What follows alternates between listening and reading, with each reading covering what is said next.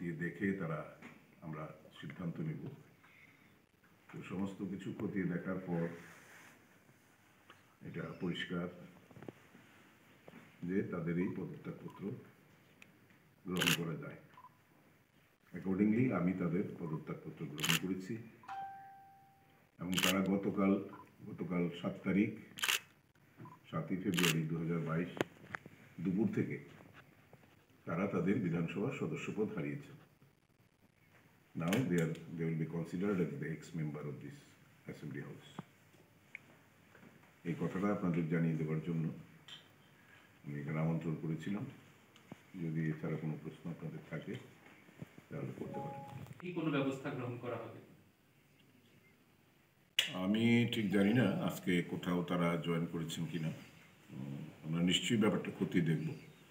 যদি অন্য কোনো দলে জয়েন করে থাকেন, তাহলে অবশ্যই আমরা অ্যান্টি ডিফেকশন রুলসে যা আছে, সেই জিনিসগুলো খতিয়ে দেখে আমরা ব্যবস্থা নেব। পুতুদেব বর্মা, আশিস দাস এবং সুদীপ রায় বর্মন এবং আশিস কুমার সাহা, এদের কেসগুলো ডিফারেন্ট ডিফারেন্ট এই জন্যে যে বিশ্বকিতু দেববর্মার সাবমিশনটাই গলত ছিল। উনি নিজে আসেননি, উনি ডাকযোগে পাঠিয়েছিলেন। দ্বিতীয় দফায় এসে যখন দিয়েছেন, সেটার পরে তাদেরকে ডাকা হয়েছে, কিন্তু তারা আসেননি।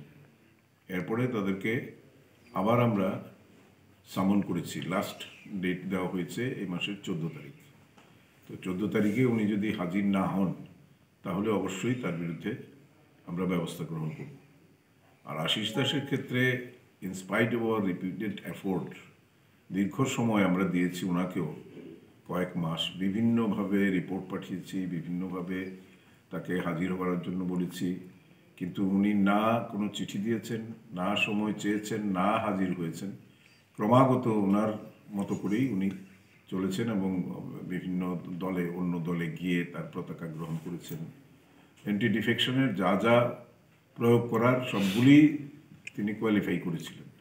তো সে কারণে আমি দেখেছি যে আর কোনো অপশন মানে আর কোনো স্কোপ নেই ওনাকে রাখার। এবং সেটা উনি প্রেয়ারও করেননি। তো কাজেই সব কিছু বিবেচনা করেই আমরা ওনার ব্যাপারে সিদ্ধান্ত নিয়েছি। আর এছাড়া যেটা বিশ্বকেতুবাবুর ব্যাপারটা সেটাও এই মাসের মধ্যেই সিদ্ধান্ত আশা করি হয়ে যাবে। এবং প্রসিডিউর অনুযায়ী ছ মাসের মধ্যে আবার শূন্য আসনে ইলেকশন হ্যাঁ ইলেকশন কমিশনের নিয়ম বা আইন অনুযায়ী আপনার ছ মাসের মধ্যেই সেখানে উপনির্বাচন করতে হয়। তো এই সমস্ত আসনগুলোতে অটোমেটিক্যালি আমরা এটা গেজেট নোটিফিকেশনের জন্য অলরেডি দিয়ে দিয়েছি এটা ইলেকশন কমিশনেও যাবে এবং ইলেকশন কমিশন যেভাবে দিন ধার্য করবেন সেভাবেই সেখানে উপনির্বাচন হবে।